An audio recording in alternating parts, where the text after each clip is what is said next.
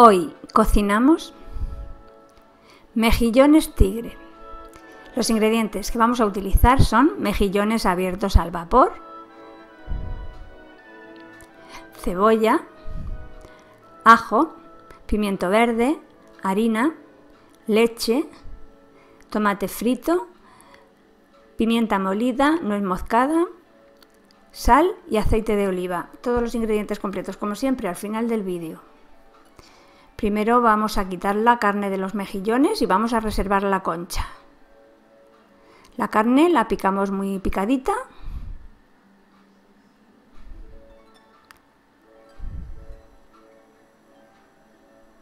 Y la reservamos.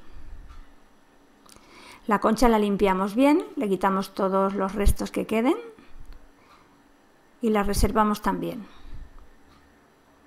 La secamos bien con un papel de cocina.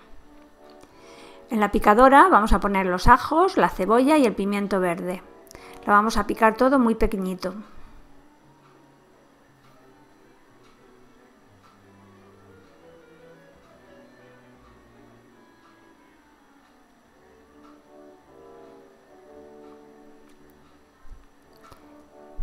Ponemos aceite en una sartén y vamos a freír la picada que hemos hecho hasta que esté dorada. Añadimos entonces la carne del mejillón que tenemos picada. Le damos unas vueltas. Añadimos el tomate frito.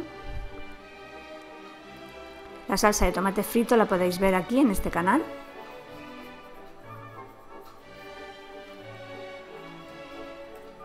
Dejamos que se haga unos minutos y añadimos la harina.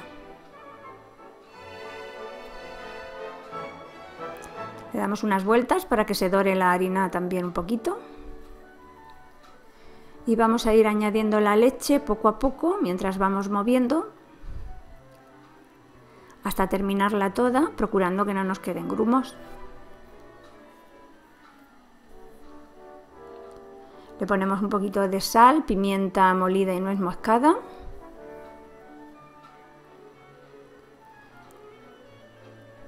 Y la dejamos hervir unos minutos hasta que espese.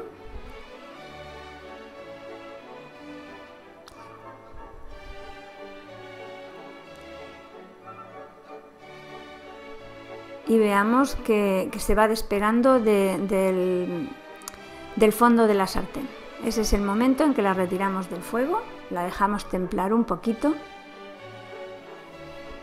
y vamos a ir rellenando las conchas de los mejillones. le ponemos bastante, que quede con una buena pancita, que queden gorditos. Los dejamos enfriar completamente y después los pasamos por harina solo la parte donde tiene el relleno. La pasamos por harina, por huevo batido y por último por pan rallado.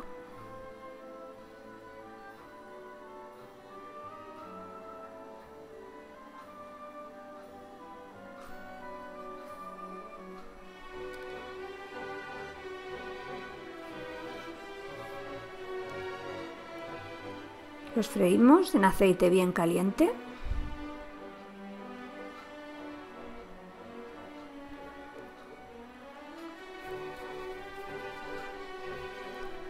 Y cuando veamos que están doraditos los sacamos y los dejamos escurrir en un plato con, con papel de cocina para que escurran bien el aceite.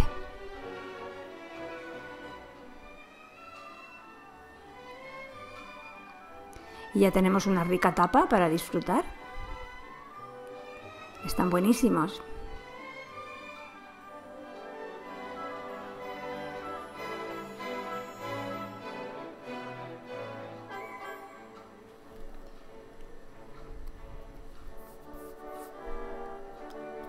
Si os ha gustado el vídeo, os invito a darle a me gusta y a suscribiros a mi canal y os espero en la próxima receta.